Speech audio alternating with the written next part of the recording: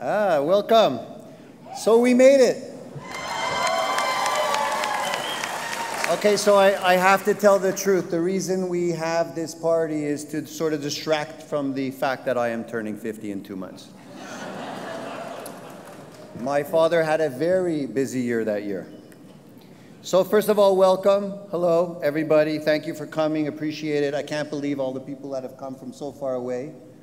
Um, just amazing. Um, I want to just say that this would not be possible without the hard work and dedication of one individual, and I'd like the room to recognize my father, Harrison Cutler.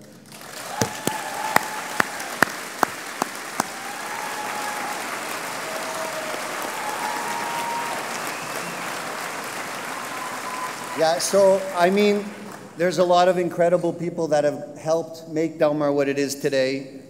The list is, is incredibly long. I'm going to focus on my father because I was not always the incredible specimen of executive you see standing here confident. You, I, you can laugh. I mean, this is true.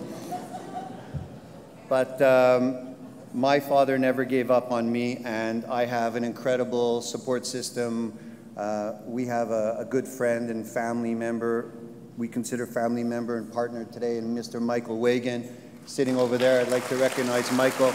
This is not a joke, but I think for the first 10 years I worked at Delmar, I, I tortured Michael. I, I, it wasn't intentional. He put up with it. He has very thick skin, thank goodness, a lot of patience. He put up with me, taught me, mentored me. Later on, my brother joined and um, he's been instrumental in making Delmar what it is today, and, uh, and, and, and, really I, I thank him for that. I also mentioned my brother briefly, my brother Paul, my partner, uh, my oldest friend, my dearest friend, my best friend. Paul, where are you?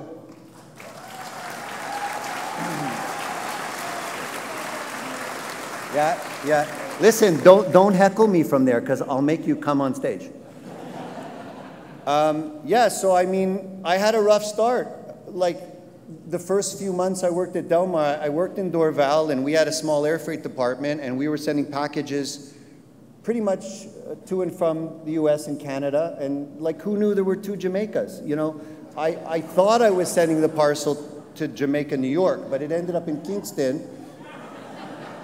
yeah, man, me thinks you made a mistake. Somebody called me and told me the box was in the wrong city.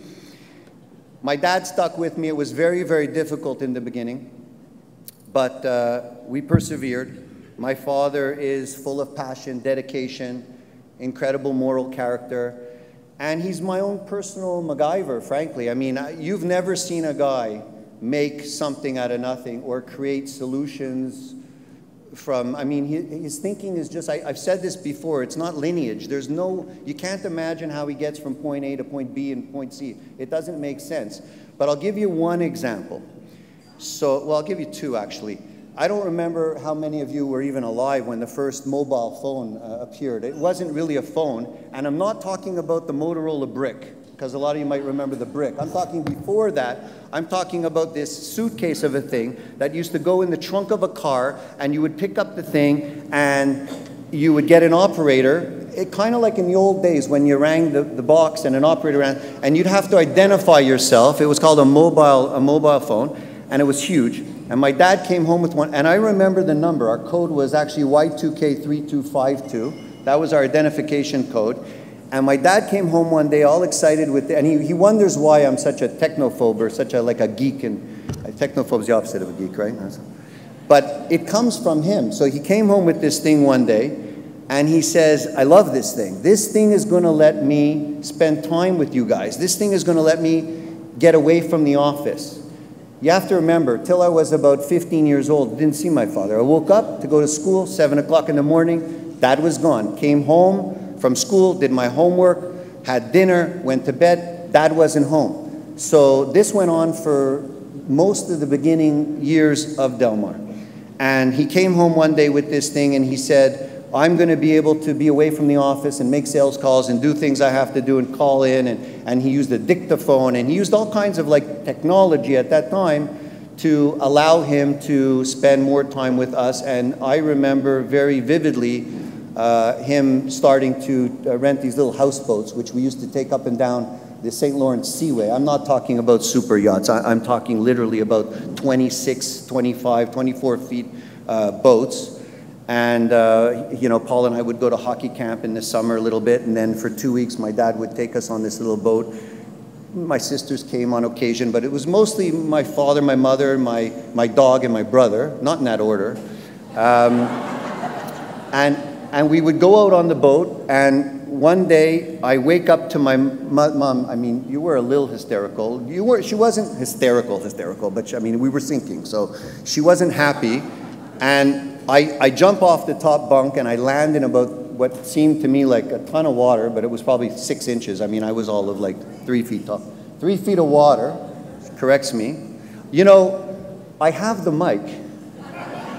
Um, so she's panicking, and my dad is trying to figure out what to do in this situation. We were anchored in a little bay, and we were taking on water, and it had these two little engine compartments, and my, my mother's busy with a cup, I think, trying to throw the water out of the boat, and she's a little hysterical. And my father can't think. And anyway, long story short, he managed to get one of the two little engines running, and he pulled up the anchor, and he just gunned the boat, and he crashed it into the, the beach, I guess it was. And then he stopped the boat, he looked at my mother, and he said, Ellie, you can relax now, we can't sink. So he solved that problem I mean, he created another problem, but I guess he's, he solved the immediate, the immediate problem. He's very adventurous, very ingenious, and um, very intelligent for making me present. Um, in 1972, Canada played Russia in the Summit Series. My mother and father were there. That's how adventurous my parents were. Or my, my father was an incredible salesman, at least to get my mother there. Imagine that, 1972, we're talking about when the Iron Curtain was still up. He went to Moscow. You couldn't wander the streets in Moscow and visit uh, uh, Yves Saint Laurent, you know, like you do today. It's, it's not like it was today. Uh, not that it's, I don't know what it's like, like today. But um, pretty amazing guy. And um, he has a, uh, a philosophy that uh, it's not really about if it's not broken, don't try to fix it.